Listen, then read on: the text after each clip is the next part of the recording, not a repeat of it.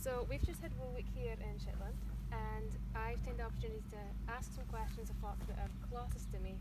A lot of the questions that I get asked, I don't know the answers to. Okay. So I've got Gary here, and I'll just let Gary introduce himself.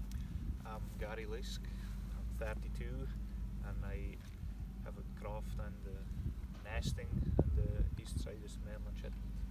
Yeah, so I've asked Gary this questions because he is my brother-in-law and um, we bide in the same area, very close to each other. So he's the one that kens all about the making decisions around sheep, and so I've got the sheepy and crofting questions for you, Gary.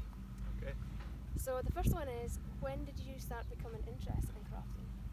Um, I've always been interested in crofting. I spent a lot of time with my grandparents when I was a small boy. They hated sheep and cattle, and I was always helping with it and just developed an interest in there. So you also stayed quite close to the croft anyway. Yeah, I've always stayed on the croft. Um, my grandparents had a croft and my parents had a croft, both of which is merged together now. Um, but yeah, we've always stayed on the croft, so it's, It's always been a part of your life then. that was always first-hand experience. Yeah. Yeah. So what size is the croft that got? Uh, crofts in this area are normally about 20 acres of what we'd call in-by land. Um, we would also share in the common grazings in the hill, but the fenced-in land would normally be 20 acres per croft. Uh, we would have more than one croft. Okay, so you So- work in a few different areas as well.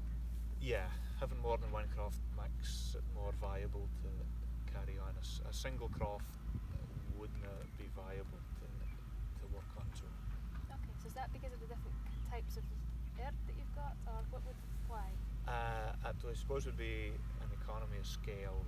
We have to buy in feed is very expensive to get into Shetland uh, for the animals, and even selling animals out of Shetland, we have uh, quite high freight costs.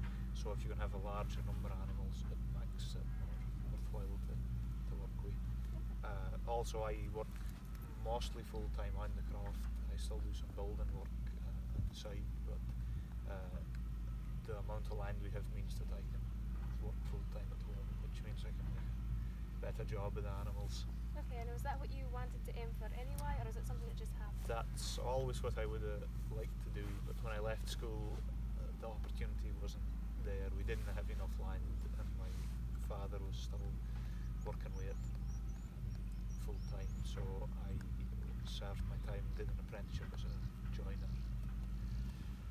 did that for 15 years. So, uh, that's quite common as well, though, for Shetlanders to do different It's things. very common in Shetland. Uh, there wouldn't be many full-time crofters in Shetland. Most people have a second income, um, either through maybe bed breakfast, holiday lets, or a full-time job. Trade, yeah. So, have you found that your trade has actually helped you in your crofting, or Uh, yes, the the trade has been very uh, useful because we've put up our own buildings as we've expanded. We've tried to improve our buildings and even our sheep handling facilities. And having a background in construction means we can do that work ourselves instead of having to pay somebody to do it. So it's been very helpful. Yeah. Um, so you mentioned already that you share some grazing land with other crofters. How does that kind of work? Um, it's very common in Shetland. Well, all crofting communities, uh, also north of Scotland, will have shared grazing. Um, the, usually the in-by, the fenced-in croft land is not very big, so crofters would have a share in the common grazing as well, which might extend to thousands of acres in, in lots of cases. Um, they would work together to gather the sheep three or four times a year on that land to communal gathering pens and, uh, and shear them there or, or uh, mark lambs or anything like that. Whatever needs done. Whatever needs to be done, yeah. So you said um, the word in by, so that a lot of folk might not ken what we mean by that. So in Shetland we've got the where folk kind of live along the roads in Shetland, Yeah. but there's big spaces in between. Yeah, the, the in-by traditionally would have been what was inside the hill dyke, which was the boundary between the common grazing and the, the enclosed land. The enclosed land would be the improved stuff, would be the green stuff you see, and the hill would be heather, just rough grazing. Yeah, good. And there's a lot of folk asked me before, does crofters find themselves working together an awful lot? Less new than what they would have done at one time. Um, although every croft has a share in the common grazings, uh, for a lot of people it's not worth to use their share because they don't have the time, they'll have full time employment elsewhere. It's sometimes going more hassle to them, so it's easier for them just not to put sheep into the common grazings. So would work together less than we used to even 20 years ago. Um, but certainly 50 year ago there was a lot of working together. Everybody had to work together to get get their work done. There's also less uh, arable, less crops grown. That would have been a big communal effort before, but now more things are mechanised.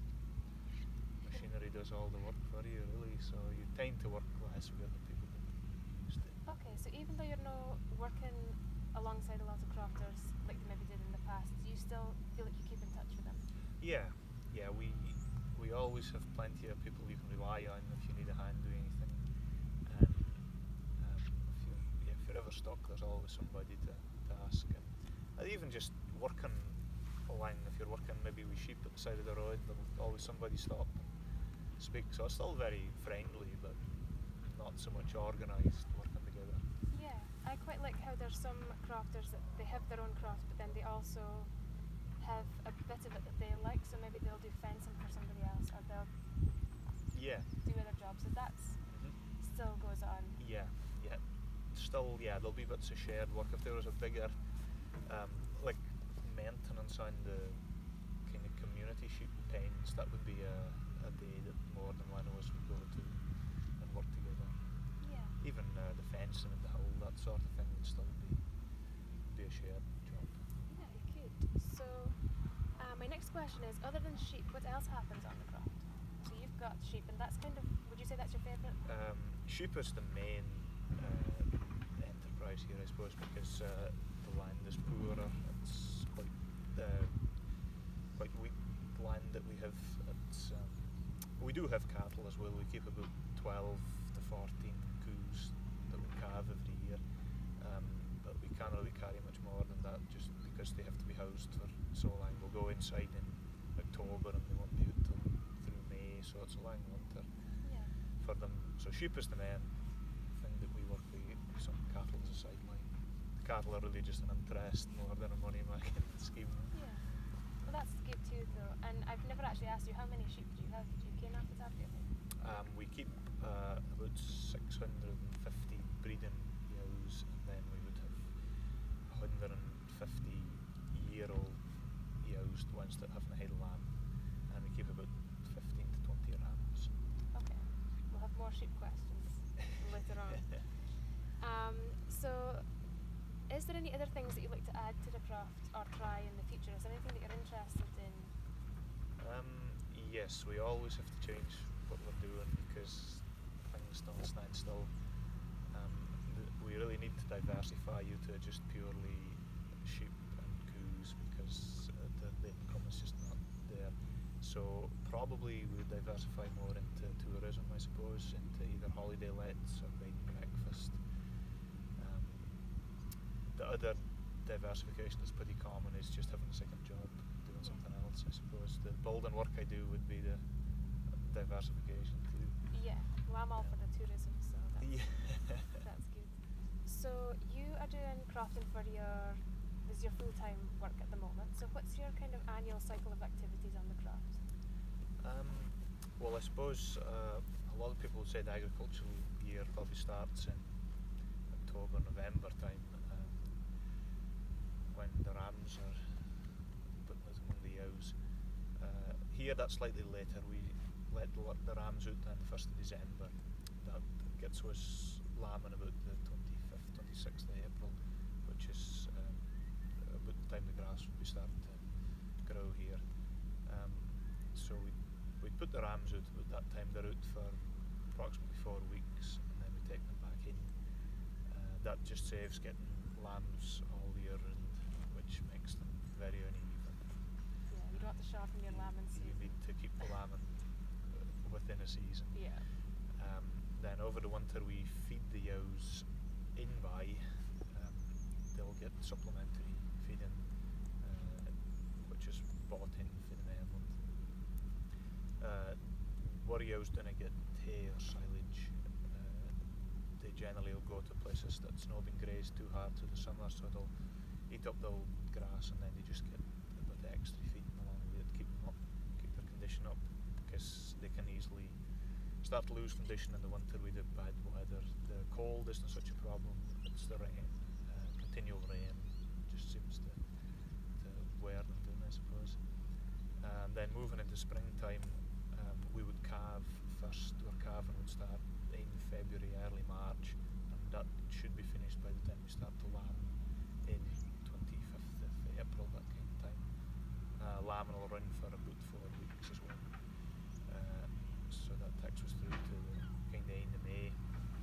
Uh, end of May, beginning of June, we would start clipping sheep. Uh, we'd clip the ones who no lambs first, do the rams and the gimmers first. Uh, that would take us through to most of June, just working at it. I do the clipping myself, so I just work out when I have a chance. And then we'd start clipping that have lambs in the end of June and through into July. We'd clip them by ewes first. They would be ready to clip first. Because we can only uh, clip them when the new wool starts to come underneath and we get enough rise to clip. And then we'd clip the whole ewes after that. They're just a little bit later. Um, that would be finished in July. We don't like to be clipping it cheap in August if possible. Depending on it. Um, and then by September time we're starting to sell lambs. The in-by lambs we go in the beginning of September. Uh, s- the whole lambs we tend to keep them on. They're just pure Shetland, so we uh, would put in a, a crop to feed them on, and we'd keep them till December. They would be sold in the first weeks of December. Um, just And add back about to the rams. back Yeah. to the rams going out again. So yeah. Good. Yeah. Um, I've got a few questions for there. So, how do you decide which sheep goes in by and which bides nearer? Um, in by we have Shetland cross Cheviot ewes, so they're slightly bigger. Um, and we also in by have some sh- pure Shetland ewes that go to the Cheviot ram. That's how we get the first cross Shetland Cheviots. Um, so we would keep the Shetland Cheviot ewes would be on the green kind of grassy bits, and the pure Shetland ewes behind the sort of more rough grazing and then we have the ewes. They're just put to the Shetland ram, uh, so they're bred pure. They just lamb themselves in the hull. We don't take them in. Uh, they'll, they'll lamb fine themselves to the assistance, but the ewes in by might need assistance. So that's why they're kept handy. Yeah. So you keep them just as close as you can, really. Yeah. Keep an eye on them. It's pretty constant. Mhm. Yeah. And so you've got a lot going on. More or less every month there's something. There's always something. Everything is a season. Yeah. And so that leads me on to how much paperwork is involved. Um, there's quite a lot of paperwork uh, new after um, foot and mouth was the one the last lot of foot and mouth regulations tightened up again to do with animal movement. So every time we move an animal off or croft, we fill out a movement document and we keep a continuous record of all animals that are on the bold. And each animal has its own identification with two ear tags. One is an electric chip in it that we can scan with a reader. Um, so each time we move them, we have to record that. Um, we also record when they get their tags and what their identification is. Um, and then we keep a medicine record. Any medication given to them is recorded. Um, and the cattle is similar. The coos all have a tag them moving on and off and any medicine given to. Uh, we get government inspections on a random basis, probably, I suppose I'd average it, but maybe, maybe one inspection every five years, just to check that we're complying with everything. And they just appear someday? They just appear uh, at random, yeah. Well, that's good that you kind of can what every sheep has been um, individually as well. Yeah, yeah. Um, yeah, ken efficient as possible. We keep on records, it makes it much easier. Yeah, keep on top of it. hmm Just do it as you can do the work, then that's the main thing. Sheep questions for you. So, what breeds of sheep do you have, and do you have a favourite breed? Um, we have Shetland cross Cheviot ewes and pure Shetland ewes. That's the only breeds of ewes we have. But the Shetland Cheviot ewes goes to a Suffolk ram to breed uh, lambs for selling, and Shetland ewes go either to the Cheviot ram for breeding first cross Cheviot replacement ewes, or they go just to the Shetland ram for breeding pure replacements. And do you um, keep an eye on the different colours that you've got, or is there a colour that you prefer? How do you Um, decide? Is that a we- thing that you think of it? Uh, it's more for either. Some people uh, will have lots of different breeds, uh, lots of different colours, and they'll pay a lot of attention to it. We the only sheep we have other than white is moorit ewes, so we keep a moorit ram just to keep that bloodline going. That's just been Sam ewes that's always been here, so we've, uh, kept them up. But we used to have a few black ewes, but um, that's mostly moorit that we concentrate. There's no focus for you, the colours, as No. much as either fawn might be. No, um, no, we'd keep about uh, 30 moorit ewes. That's just a fine number, that's enough. We keep one ram, they kind of look after themselves. Yeah. Um, and what is some of the characteristics of the Shetland breed? So do you notice kind of the personalities between Shetland and Uh, other sheep? I get asked that a lot. Shetland sheep are just much hardier. They can survive on very poor grazing. They'll do quite well in by too, but they will live in the hill. Um, that would be the main difference. They're just much more. They're more like wild sheep than than tame sheep. And does that make them more difficult to gather to take home again? Yeah, Yeah. The, especially hill sheep, they, they they keen their hill really well, and quite often they're smarter than what the dog is. They can they keen where to duck and dive. And Yeah. And um, what is lambing time really like? So do you look forward to it or not? yeah, I, I do look forward to lambing time. It's it's a good time of year. Uh, the weather makes the biggest difference to lambing time. Uh, if it's good weather, it's no easy, but it's much easier.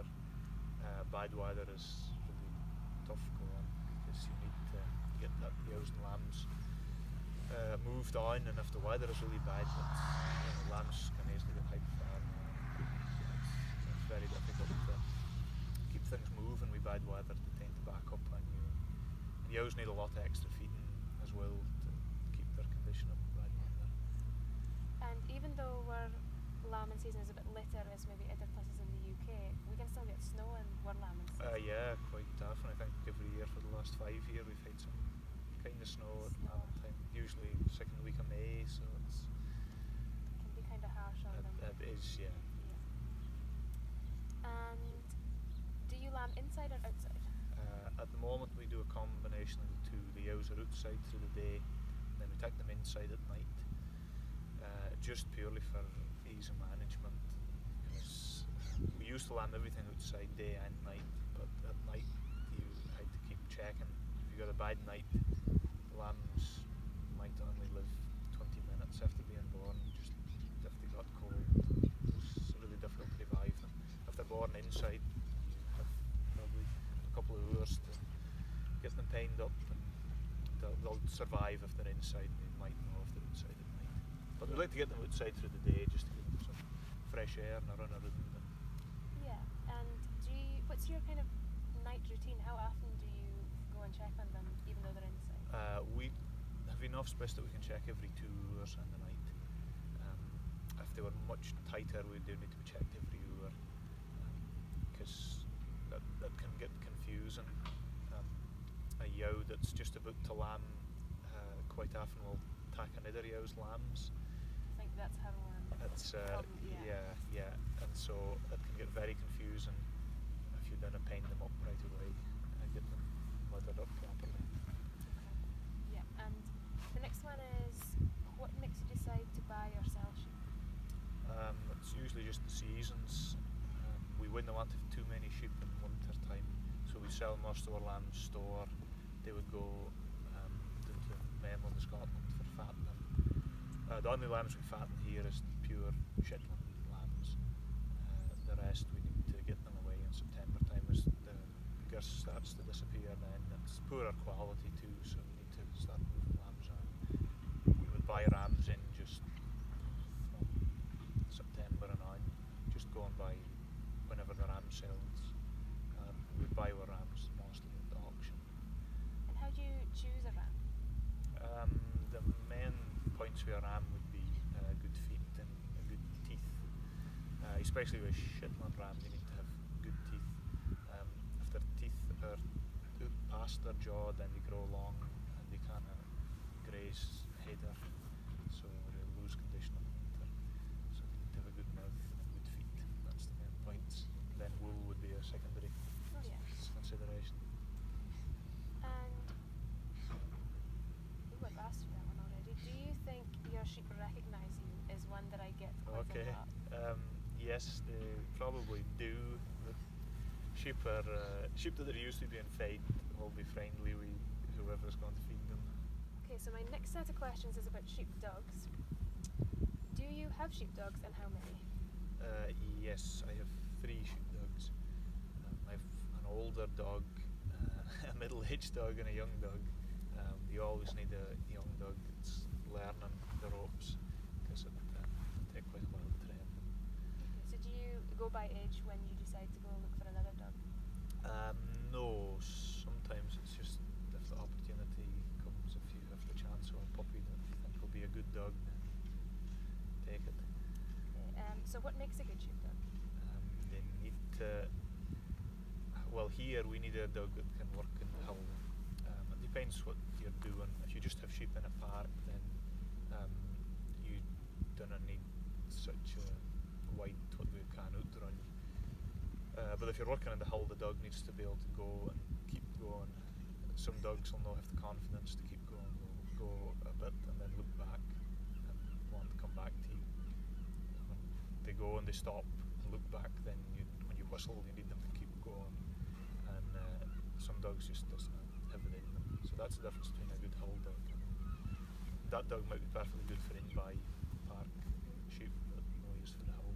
Yeah, because a lot of time you might be in the hill and you can't see your dog, but you're trusting Yeah. that they're doing what they're you need supposed them to to, do. to keep going. Yeah, sometimes you might be sending them a half a mile away to get sheep. It's a, it's a bit, yeah. And um, when you are, so if the opportunity comes up, like you said, are you looking for a dog that has come from parents that have been sheepdogs before? Yeah, that uh, would be uh, normally uh, the thing we'd look for would be uh, like both the parents being good working dogs too. Um, and then there's more chance of getting, not always, but there's more chance of a dog That being a kind of good, thing. yeah, being a good dog from uh, breeding. And then how do you train a sheepdog? Um, So what age do you start, I suppose, if you first? the, they'll start working very young. If they they'll start when they're just like a few months old. They'll start, but they don't have the. They can't run fast enough to go around the sheep, so you wouldn't normally start them working until. A lot of people start probably before months old. Um, they can start to get around the sheep by that time. Um, I suppose it's just patience. You need to them out for plenty for short bursts and let them have a run around the sheep. And, and they just gradually learn. You have to. One of the big things to learn is to come back again. If they can come back, you always train them. So do you, um, would you just dog into the park with the sheep with you, or what do you? Um, What are you doing with You'd usually maybe have a few, maybe six sheep on their own in a just in a small park, uh, so that they can't get too far away from the dog to begin with. So the dog doesn't have to work too hard. It can work more on just stopping them and bringing them to you. Uh, that would be the first time we'd learn the dog to bring the sheep towards you, and then you train them after that to go